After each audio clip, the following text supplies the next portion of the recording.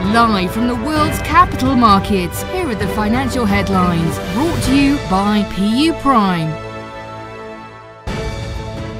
Hello and welcome to Wednesday's financial news. Stay with us for more market headlines.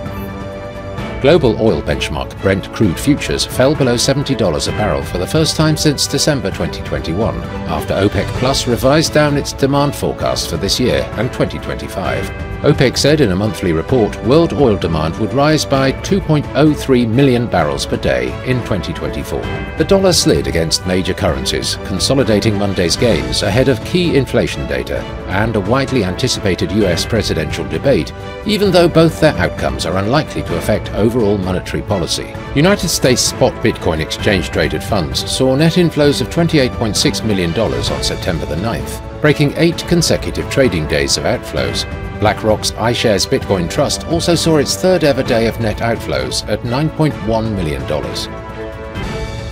The last session saw the dollar drop 0.5% against the yen.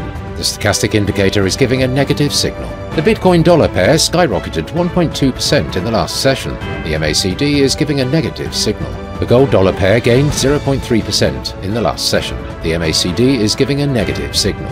The oil dollar pair dove 3.4% in the last session. According to the CCI, we are in an oversold market.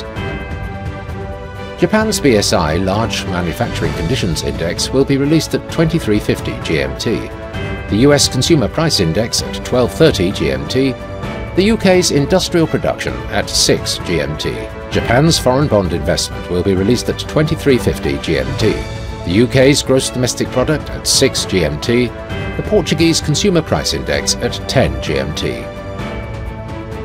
We hope you've enjoyed Wednesday's market outlook. On behalf of all of us here, we wish you a productive trading day.